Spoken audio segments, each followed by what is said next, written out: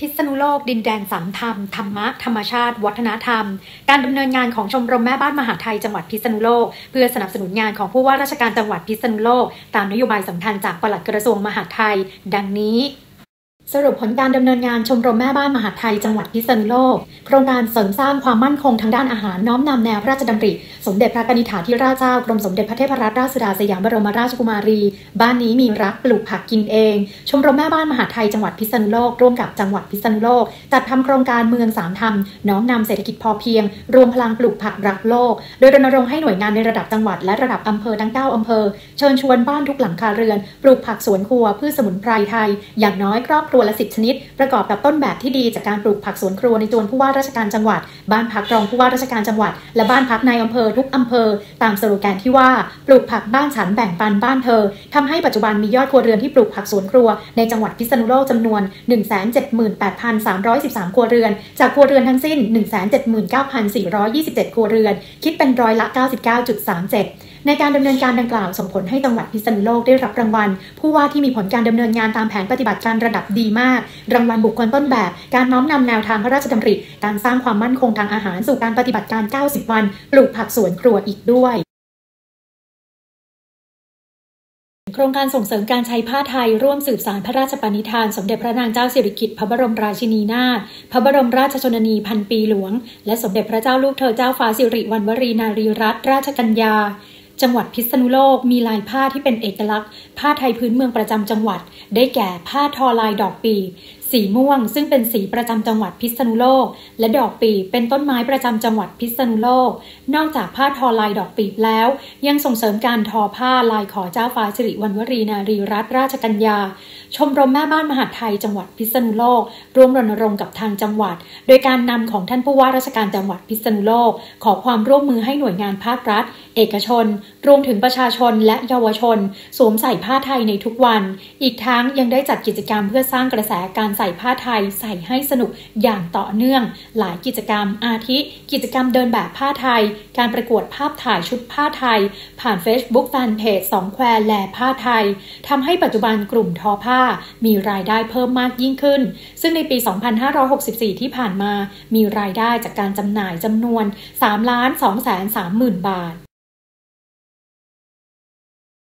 ท่ามกลางสถานการณ์การแพร่ระบาดของเชื้อไวรัสโคโรนา 2019 หรือโควิด -19 จังหวัดพิษณุโลก ได้มีแนวนโยบายในการเชิญชวนประชาชนฉีดวัคซีน ตามมาตรการเชิงรุก ได้แก่การจัดทีมโมบายฉีดวัคซีนทุกตำบล ทีม 5 เสือและอสมเคาะประตูบ้าน สแกนทุกพื้นที่ มาตรการเชิงรับเพิ่มจุดบริการฉีดวัคซีน ทั้งนี้ชมรมแม่บ้านมหาไทยจังหวัดพิษณุโลก มีบทบาทสำคัญในการร่วมรณรงค์สร้างขวัญกำลังใจและอำนวยความสะดวกให้กับผู้มารับบริการฉีดวัคซีน และเพื่อเป็นการสร้างแรงจูงใจให้ประชาชนกลุ่มเป้าหมาย มารับบริการฉีดวัคซีน จึงได้แจกหน้ากากอนามัย แจกจ่ายให้ผู้รับบริการฉีดวัคซีนอย่างต่อเนื่องอีกด้วย ปัจจุบันประชาชนในพื้นที่ฉีดวัคซีนสะสมไปแล้วกว่า 1 3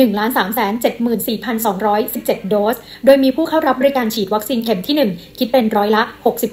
6.29 เข็มที่ 2 คิดเป็นร้อยละ 67.21โครงการครอบครัวมหาไทยใส่ใจสิ่งแวดล้อม ครงการครอบครัวมหาไทยใส่ใจสิ่งแวดล้อม โดยการจัดทำขยะเปียกลดโลกร้อน เพื่อการคัดแยกขยะแห้งขยะเปียก เพื่อให้เป็นปุ๋ยอินทรีย์ จังหวัดพิษณุโลกดำเนินการบริหารจัดการขยะมูลฝอยชุมชน จังหวัดสะอาด โดยมีวัตถุประสงค์เพื่อให้มีแนวทางในการเกิดการบูรณาการร่วมกัน ระหว่างหน่วยงานในสังกัดกระทรวงมหาดไทย หน่วยงานภาครัฐ องค์กรปกครองส่วนท้องถิ่น ภาคเอกชน และภาคประชาชน โดยแบ่งการจัดการออกเป็น 3 ระดับ คือ ด้านการจัดการขยะต้นทาง กลางทางและปลายทาง ซึ่งปัจจุบันมีจำนวนครัวเรือนที่เข้าร่วมโครงการทั้งสิ้น1 81,069 ครัวเรือน สามารถดำเนินการตามแนวทางได้ดังนี้ ครัวเรือนที่มีการคัดแยกขยะ 181,069 ครัวเรือน ครัวเรือนที่มีการจัดทำถังขยะเปียกลดโลกร้อน 181,069 ครัวเรือน คิดเป็นร้อยเปอร์เซ็นต์ของครัวเรือนที่ดำเนินการ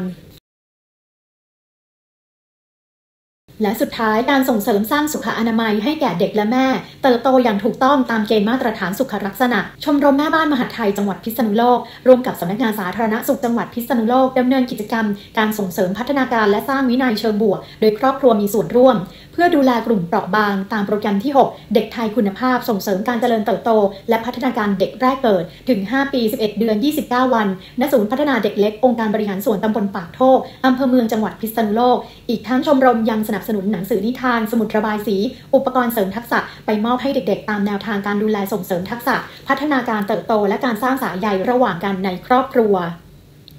มากกว่าการดำเนินการตามวัตถุประสงค์ของสมาคมแม่บ้านมหาไทย ชมรมแม่บ้านมหาไทยจังหวัดพิษณุโลก ยังสามารถสร้างความสมัครสมานสามัคคี สร้างความเข้าใจอันดีซึ่งกันและกันของครอบครัวข้าราชการของกระทรวงมหาดไทย พร้อมที่จะสร้างประโยชน์ต่อส่วนรวมต่อไป